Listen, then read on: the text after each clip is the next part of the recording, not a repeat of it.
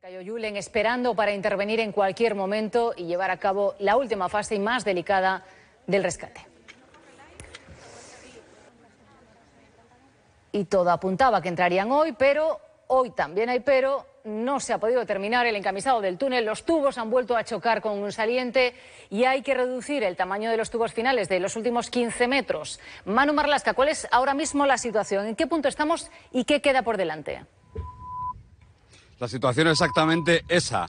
Hoy que parece que iba a ser el último día en el que las máquinas, los ingenieros, los operarios, los geólogos fuesen los que cobrasen el protagonismo y se lo dejasen a esos mineros. Sin embargo, hoy son los herreros y soldadores que están reduciendo el tamaño de esos tubos desde un metro diez a 90 centímetros de diámetro. Son los últimos 10 metros de tubería, esta que va a apoyar en el fondo, en la zona de caldera, donde estarán los escombros. Por encima de ellos entrarán esos mineros, esos ocho mineros de dos en dos, en turnos de 30 40 minutos. En las próximas horas, seguramente a primeras horas del día de mañana, será el momento en el que por fin el factor humano será el protagonista.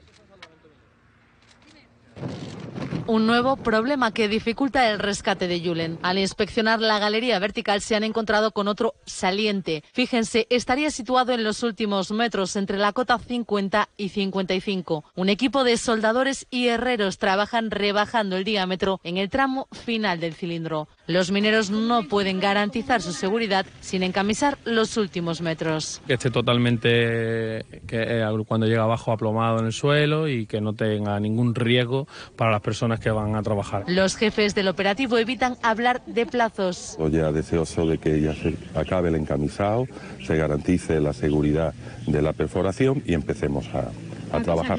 Aún así nos encontramos ya en la cuenta atrás para los mineros. Ellos comenzarán el túnel vertical con el apoyo logístico de los bomberos. Pero desde el punto de vista de seguridad, garantizar siempre la seguridad de los participantes. Y además se encargarán del sistema de ventilación. Al tener un confort tanto de aire fresco como para renovación de ese aire que se pueda estar viciado por polvo, por como va a haber micro detonaciones. Usarán ventiladores. Ventiladores convencionales a través de un conducto que llegará hasta abajo y le da presión positiva. Todo el equipo mantiene la ilusión. Ese crío nos transmite una energía y una fuerza, la verdad que, que por un segundo no te deja de caer. Saben que el pequeño Julen cada vez está un poco más cerca.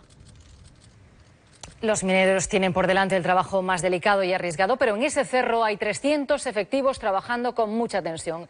El objetivo es que no haya más presión sobre ellos. Cada paso atrás, cada tropiezo influye inevitablemente en el ánimo, aunque mantienen las fuerzas, la esperanza y la tan necesaria concentración.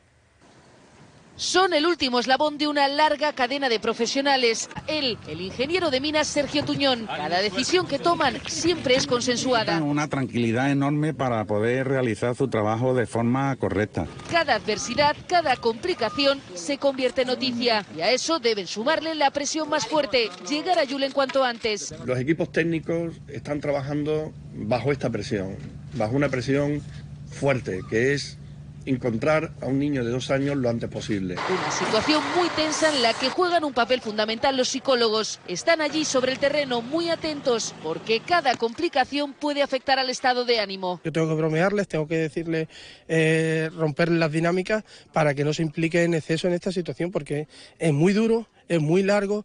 La coordinación y la absoluta entrega de todos los equipos les ha impresionado incluso a ellos. Así lo refleja esta carta de un guardia civil escrita desde Totalán. Verlos trabajar coordinados con la experiencia de bomberos, físicos de carrera, ingenieros, etcétera, fue increíble. Bueno, si os contara lo que estamos viviendo todo aquí, no, no lo podíais ni creer.